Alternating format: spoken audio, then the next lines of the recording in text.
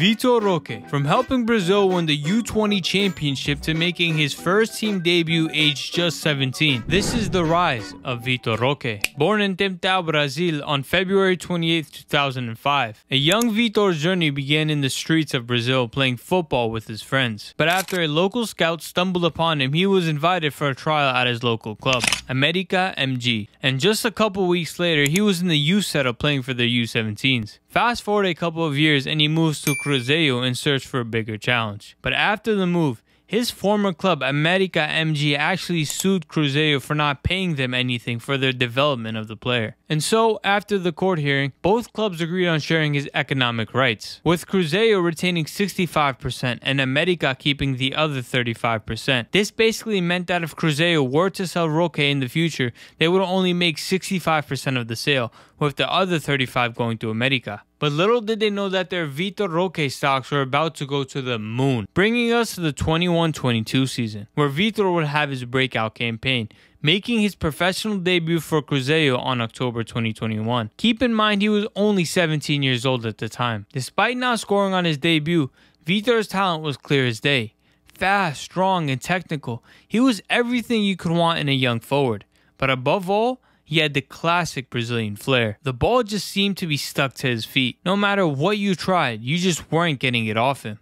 And so, after staying consistent, he scored his first goal on the 20th of February in a 2 2 draw against Villanova, showcasing his elite finishing ability. Three days later, in a fierce battle in the Copa do Brasil, Roque took the field scoring not just one, but two incredible goals, propelling his team to an astonishing 5-0 victory. It was a performance that left spectators in awe and cemented Roque's reputation in the Brazilian league. He was a force to be reckoned with. And so, Vitor ended the campaign with 6 goals and 1 assist in 11. Not too bad for a debut season if you ask me. This alerted all the big Brazilian teams, with Palmeiras, Santos, and Atletico Paranaense all sniffing around. And after just playing one year for Cruzeiro, Roque would join Atletico in a deal worth 4 million pounds, becoming the most expensive signing in the club's history. And four days after the deal was sealed, the stage was set for Vitor's debut. With anticipation in the air as he stepped onto the ground, the roar of the crowd echoed in his ears. Coming on as a sub in the late stages of the game, despite eventually losing 1-0 that day, Vitor's debut showed glimpses of his immense potential, and honestly, just the energy he brought onto the field was immense, leaving fans and pundits alike begging for more. But it didn't take long for him to find the net. On May 29th, Vitor would score his debut goal for Atletico, unleashing his inner R9 with a thunderous strike propelling them to a 1-0 victory. But this was just the beginning of Vitor's goal-scoring run. And just a couple weeks later on August 7th, he took his game to another level. Vitor orchestrated a masterclass performance, netting not just one but two goals against the mighty Atletico Mineiro, propelling Paranaense to a thrilling 3-2 away victory. 2002 World Cup winning coach Luiz Felipe praised Vitor, saying, He has great room for improvement.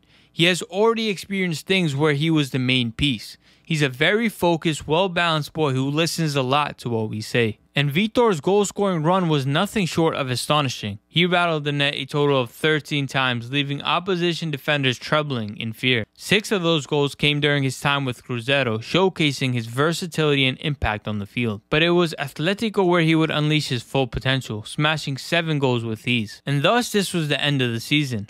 Roque's tally stood strong, having scored 7 as well as assisting 3 times. But unlike Brazil, Vitor didn't have the mainstream attention. That was until the South American U20 Championship. After his impressive performances for his club, he was invited to the U20 South American tournament to represent Brazil, and this was where he would take off. Starting the campaign off against Peru, scoring twice and even providing an assist in a 3-0 win. This was only just the beginning. In the next game against Argentina, he would find the back of the net once again, helping Brazil win the game 3-1. But Roque picked up a small injury in his last game, so he didn't play in the next game versus Colombia and only played 28 minutes against Paraguay, bringing us to the game against Ecuador.